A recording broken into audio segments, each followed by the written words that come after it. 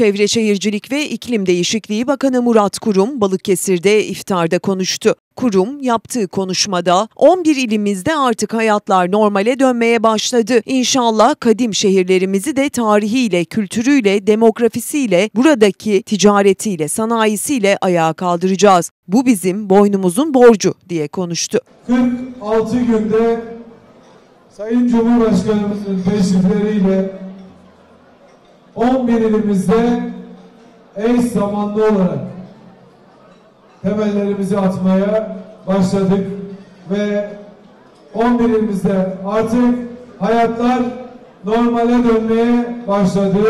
İnşallah kadim şehirlerimizi de tarihiyle, kültürüyle, demografisiyle, buradaki ticaretiyle, sanayisiyle ayağa kaldıracağız.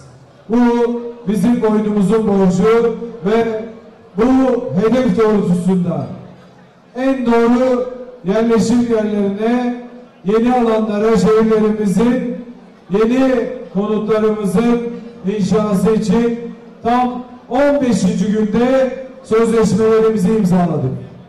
Ve 46. günde Sayın Cumhurbaşkanımızın teşrifleriyle Cumhur İttifakımızın kıymetli genel başkanlarıyla birlikte temellerimizi attık. İnşallah Sayın Cumhurbaşkanımızın milletimize verdiği sözü tutarak 365 gün sonra da konutlarımızı, yeni yaşam alanlarımızı inşa edecek vatandaşlarımıza teslim edeceğiz. İftara Balıkesir Büyükşehir Belediye Başkanı Yücel Yılmaz, AK Parti Balıkesir İl Başkanı Ekrem Başaran, ilçe başkanları ve partililer katıldı.